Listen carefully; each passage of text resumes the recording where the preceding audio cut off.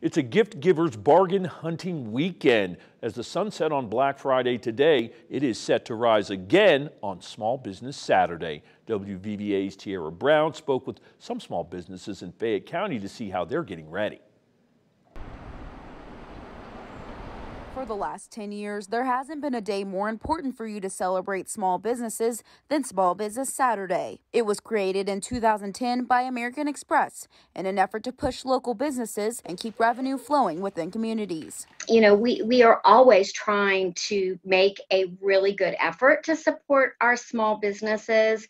But again, this year is just unique. And um, we really ask that all of you go out and shop local, shop small. The West Virginia Hive is promoting local businesses to give them a last push the day before the celebration. Business owner Curtis Paul says he is prepared and ready. I do have a mask policy. You must have a mask on to come inside.